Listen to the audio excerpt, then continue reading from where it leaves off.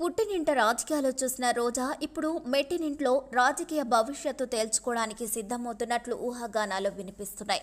అయితే ఏ పార్టీలో చేరాలనే విషయంపై ఆమె ఇంకా తుది నిర్ణయం తీసుకోలేదంటున్నారు. ప్రస్తుతం తమిళనాడులో డిఎంకే అధికారంలో ఉంది.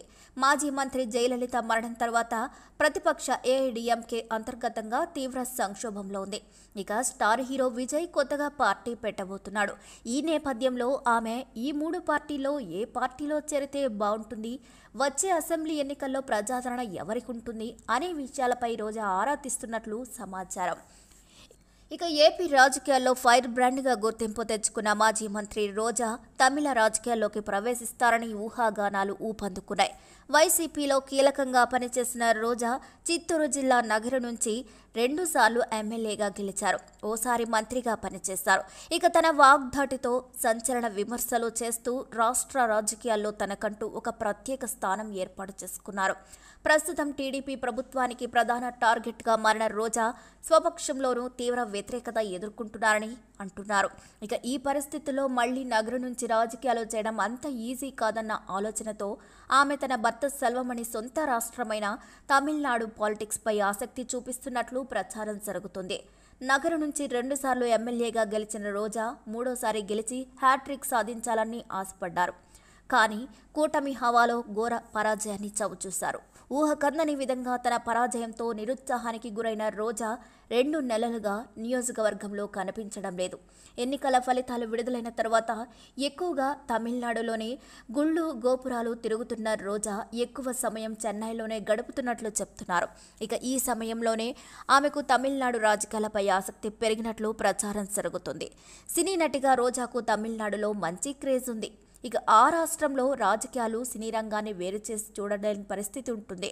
ఇక దీంతో తన సినీ గ్లామర్తో తమిళనాడులో రాణిస్తానని ఊహిస్తున్న రోజా తన భర్త సెలవుమణి తమిళనాడుకే చెందినవారు కావడం తనకు తమిళ్ బాగా వచ్చి ఉండడంతో అరవ రాజకీయాల్లోకి ప్రవేశిస్తే ఎలా ఉంటుందనే విషయంపై సన్నిహితులతో చర్చిస్తున్నట్లు చెబుతున్నారు.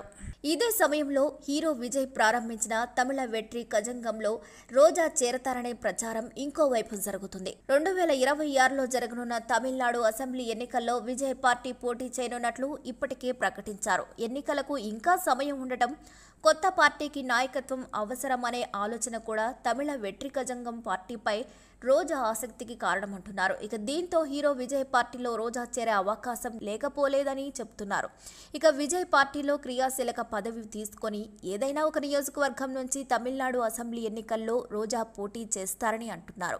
ఇక రోజా తమిళ రాజకీయాల వైపు మళ్ళడానికి నగరి నియోజకవర్గంలో రాజకీయ పరిస్థితులు ప్రధాన కారణంగా చెప్తున్నారు. గత రెండేళ్ళుగా నగరి నియోజకవర్గంలో ఆమె అనేక ప్రతికూల పరిస్థితులను ఎదుర్కొన్నారు.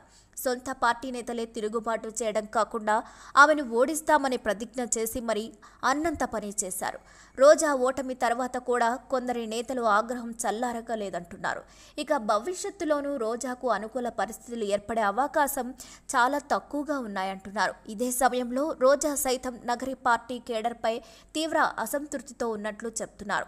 అంతా కలిసి తనను మోసం చేశారన్న ఆగ్రహం ఆవేదన రోజాలో కనిపిస్తున్నాయంటున్నారు. దీంతో నగరంలో ఉన్న ఆ కాస్త నేతలు కూడా ఇకపై రోజాకు సహకరిస్తారన్న నమ్మకం కలగడం లేదంటున్నారు.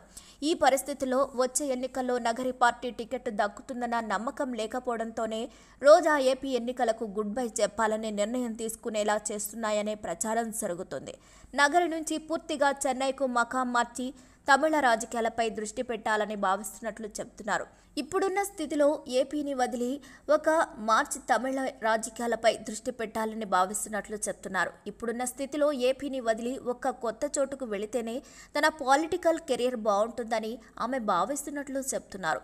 ఇక ఫ్రెష్ ఇన్నింగ్స్ మొదలు పెట్టడానికి తమిళనాడు సరైన ఎంపికగా రోజా నిర్ణయించుకున్నారని ఆమె సన్నిహితులు చెప్తున్నారు. మరి ఈ వీడియోపై మీ అభిప్రాయాల్ని ఖచ్చితంగా కామెంట్ ద్వారా తెలియజేయండి. మరిన్ని అప్డేట్స్ కోసం మా ఛానల్ని లైక్ చేయండి షేర్ చేయండి సబ్స్క్రైబ్ చేయండి.